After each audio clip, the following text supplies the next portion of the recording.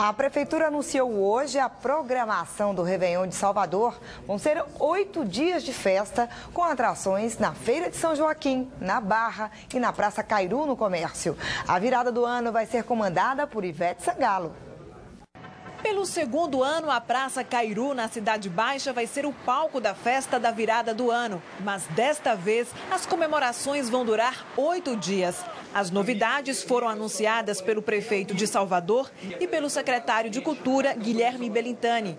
A expectativa é reunir mais gente do que no Réveillon do Rio de Janeiro. Quero fazer com que Salvador seja o primeiro destino do Brasil no Réveillon, ganhando até para o Rio de Janeiro.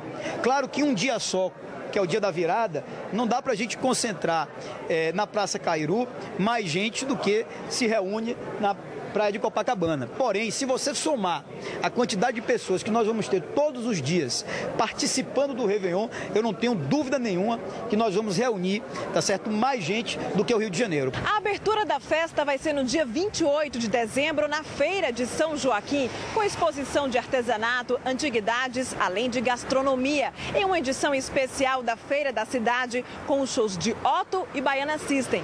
A partir do dia 29 até 1 de janeiro, as comemorações vão ser na Praça Cairu, aqui na Cidade Baixa, onde serão montados dois palcos. As atrações são de diversos estilos musicais.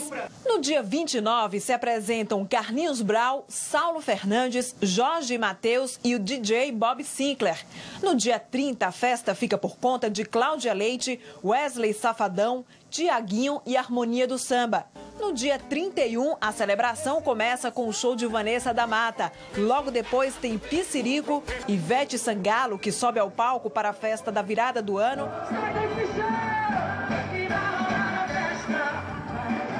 E ainda Aviões do Forró e Pablo. No dia 1 de janeiro, como já é tradição, Daniela Mercury e convidados encerram os festejos na Praça Cairu. E a partir do dia 2 até 4 de janeiro, a Barra vai receber o Festival de Jazz, além de apresentações de teatro, dança e circo. Praça Cairu respondeu muito bem ao Réveillon 2014 e se tornou um lugar em um ano apenas absolutamente consolidado para grandes eventos. O que a gente faz agora é acrescentar à programação da Praça Cairu uma programação também no Farol da Barra, com festival de jazz de música instrumental e com abertura inusitada dentro da Feira de São Joaquim. Eu diria que é o primeiro evento dessa dimensão, talvez, que a gente possa abrir dentro de uma feira. Né? A gente traz justamente o que é a cara de Salvador. Ainda na coletiva, o prefeito garantiu que a queima de fogos vai acontecer em diversos pontos da cidade. E também foi apresentada a campanha nacional de promoção turística de Salvador.